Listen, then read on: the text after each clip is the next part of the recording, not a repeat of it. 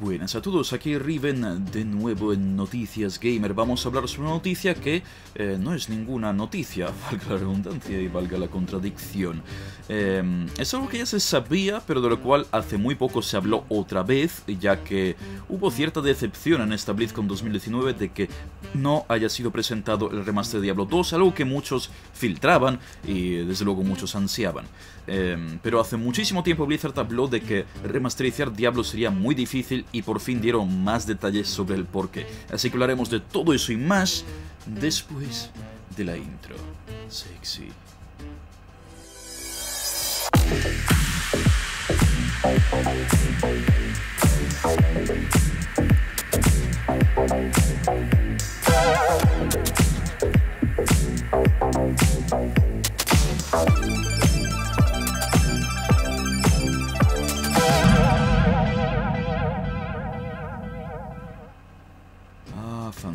Fantástica intro sexy. Se dice que en el sitio donde está el código fuente de la intro sexy en 4K con HDR, ahí está el código fuente del Diablo 2 también. Pero solo son rumores. Eh, pero sí, tenemos aquí noticiasgamer.com. Como siempre, dejaré la fuente en la descripción un artículo escrito por Pesadilla de hoy mismo, eh, de que los hermanos Schaffer ven difícil una remasterización de Diablo 2. GameSpot ha podido entrevistar a varios creadores originales de Diablo 2 donde les han confirmado que para Blizzard sería difícil una remasterización de Diablo 2. Eric Schaffer, Max Schaffer y David Brevik eh, comenzaron en la susodicha charla que perdieron parte del código de Diablo 2, entre otras cosas como las copias de seguridad, recursos o el arte conceptual. Dicha entrevista fue durante el marco del ExileCon 2019, la feria que reúne a los aficionados a la empresa de Grinding Gear Games, creadores del RPG Path of Exile, donde además, eh, por si no lo sabéis, se presentó el Path of Exile 2. Eh, tenemos aquí alguna cita al respecto. Eh, se suponía que tendríamos una copia de seguridad, pero no la hicimos. Estuvimos varios días en pánico. Eric Schaffer. Eh, más bien. Eh, pero sí, eh, este señor nos confirma que lo que es el código fuente, lo que es todo... Mm, la base del juego se ha perdido sin recuperación alguna. Y esto es mucho más tocho de lo que algunos podrían llegar a pensar. Perder el código fuente es lo peor que te puede pasar en una situación así donde tienes que remodelar parte del juego, actualizarlo a tiempos actuales. Em, las esperanzas de que saquen un Diablo 2 Remastered cada vez se ven eh, más pequeñas y más reducidas. El código fuente es eh, la clave para todo, desde luego. Se podría rehacer el juego de cero, porque al fin y al cabo em, incluso algunos fans hacen ingeniería inversa para recrear servidores de World of Warcraft. Es posible hacerlo, pero requiere de muchísimo presupuesto y muchísimo tiempo. Sobre todo eso, ¿no? Tiempo y dinero. Y Sabemos por las últimas actuaciones de Blizzard eh, que no van a querer gastar mucho dinero y mucho tiempo en un proyecto tan secundario. Lamentablemente, porque anda que no molaría jugar a un Diablo 2 Remastered. Eh, o sea, no, me entendéis mal, yo querría jugarlo un montón, la verdad. Sobre todo si le meten algún sistema de logros, lo actualizan el Battle.net que tiene asociado al juego y tal. Me encantaría volver a pasármelo con unos cuantos amigos, hacer un, hacer un playthrough completo antes de Diablo 4, ¿no? Eh, que de todas formas lo haremos seguramente, pero parece que es complicado. Ya dijeron hace unos años que, cuando, cuando presentaron StarCraft Remastered, de hecho, habían dicho que el Diablo 2 Remastered no iba a ocurrir en un principio porque la manera en la que hicieron el juego, además, no admitía eh, resoluciones más grandes y no admitía mm, ningún tipo de rescalado ni cambios en los gráficos, así que de todas formas tendrían que rehacer el motor gráfico del juego prácticamente de cero. Y si ahora nos confirman que no tiene ni código fuente, lo veo muy F, esto la verdad, F en el chat. Eh, mm, como digo, Blizzard no es famoso por emprender tareas altruistas, eh, sobre todo en los últimos años, en la última década. Eh, siempre apuestan por lo seguro y toman muy pocos riesgos, así que eh, invertir un montón de tiempo en rehacer el motor gráfico, rehacer el código fuente y esencialmente rehacer el juego entero, porque recordemos que incluso con código fuente, incluso con el motor gráfico actualizable, tendrían que rehacer todos los gráficos. No me acuerdo si el Diablo estaba dibujado por sprites a mano o eran renders en sprites de mm, modelos 3 no lo recuerdo, la verdad, StarCraft sí que eran modelos 3D renderizados en 2D, eh, en la sprite sheet, eh, no sé si Diablo 2, no, recuerdo si Diablo 2 era igual o no, pero en cualquier caso, si fuera así, tendrían que volver a hacer todos los modelos en HD con sus texturas y volver a convertirlo en sprites, o si está hecho a mano, sería casi peor aún, porque tendrían que dibujar cada animación, cada fotograma de cada animación a mano en esa alta resolución y sería bastante, bastante complicado eh, en un juego que además tiene animaciones en tantas direcciones como, como el Diablo 2, creo que incluso es más sofisticada la tecnología de Diablo 2 que la de StarCraft 1, así lo es desde luego. Em, así que supondría muchísimo esfuerzo, incluso si no tuvieran estos problemas. Eh, serían probablemente varios años de trabajo en actualizar todos los gráficos, probablemente remasterizar la soundtrack, que es fantástica, pero molaría escucharla con instrumentos reales más que eh, sintetizado desde luego. Y eh, con suerte también meter algún sistema de logros, como digo, actualizar el sistema de Battle.net y hacer un nuevo ladder y demás.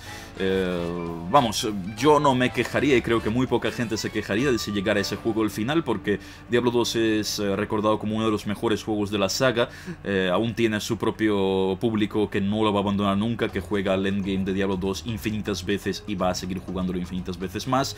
Y eh, a todo ese público le vendría bien un Diablo 2, aparte de que es un juego bastante fácilmente marketeable, ahora que además nos llega Diablo Immortal y Diablo 4. Eh, colar un Diablo 2 Remastered por ahí en medio molaría un montón, pero si nos están diciendo tan abiertamente que no tienen código fuente, yo lo interpreto como una F tremenda para este proyecto y que no lo vamos a tener nunca.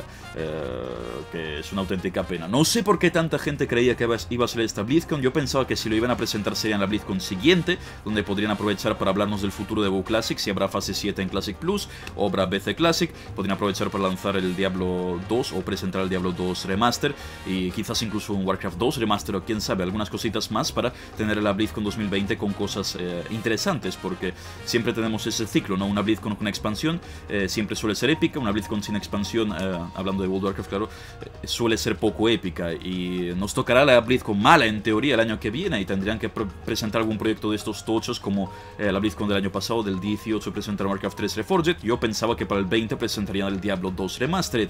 Eh, pero cada vez nos dicen más cosas de que no va a ocurrir. Aunque también es verdad que podrían estar simplemente echándonos arena a los ojos para que nos despistemos y dejemos de filtrar cosas que no existen.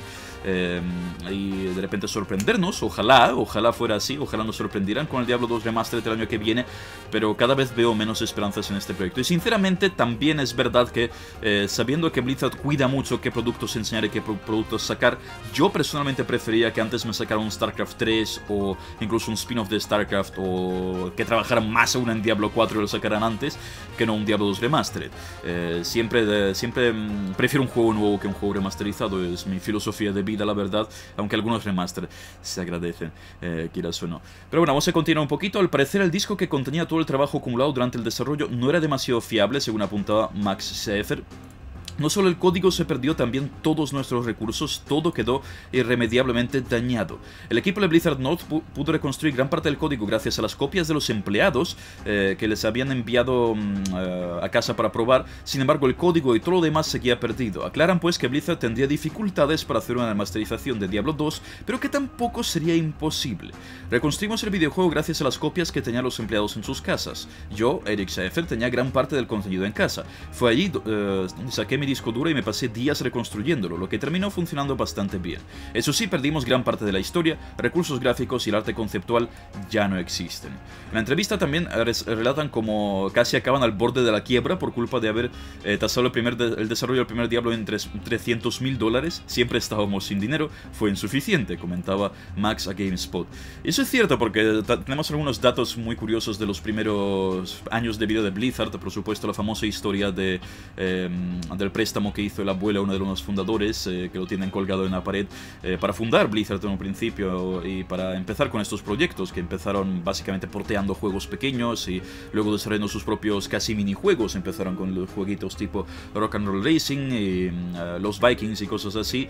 Y claro, luego pasaron a sacar sagas que hoy en día todos recordamos con un cariño infinito, como puede ser Diablo, como puede ser StarCraft, como puede ser Warcraft. sagas que han cambiado el mundo de manera muy literal, si nos paramos a pensarlo un momento, estas sagas literalmente han cambiado el mundo. El mundo es distinto por ello. Se han creado parejas, se han creado amistades, se han creado torneos, se han creado carreras alrededor de estos juegos. Y mm, es increíble eh, echar la vista para atrás un poquito para eh, recordar todo eso y recordar cómo empezaron estas empresas. Porque quién sabe lo que nos depara el futuro y quién sabe cuándo más surgirá otro Blizzard más y cuándo más surgirá el principio de algo gordo. A lo mejor estamos el principio de algo gordo con Noticias Gamer, así que no dudéis en visitar noticiasgamer.com y darle amor a los redactores que están publicando cositas tan chulas como esto. Yo estoy preparando ahora una guía de cómo armonizarse para el núcleo de Magma, por si alguien aún no tiene las pre hechas para ir a MC en el Classic.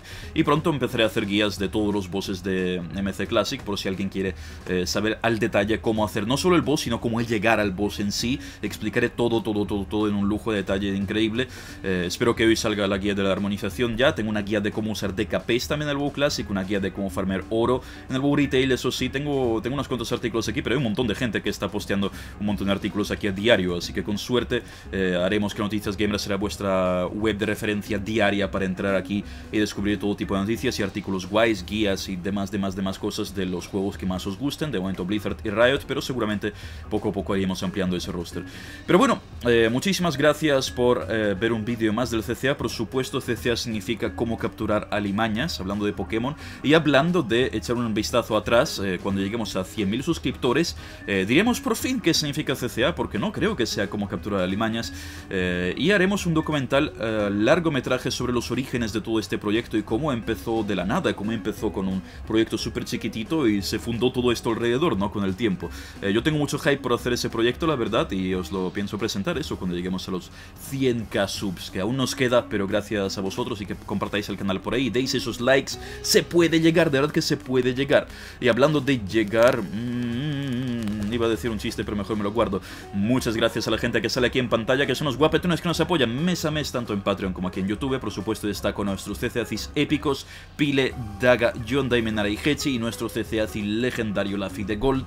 Y os recuerdo que estamos en plena llamada a las armas en Twitch. En la descripción tenéis un enlace. Cuando veis esto, seguramente estaré raideando en WoW Classic o en WoW Retail. Y por la noche vamos a jugar un montón, sea el Star Wars nuevo, sea el Death Stranding o incluso el Pokémon si os apetece verlo.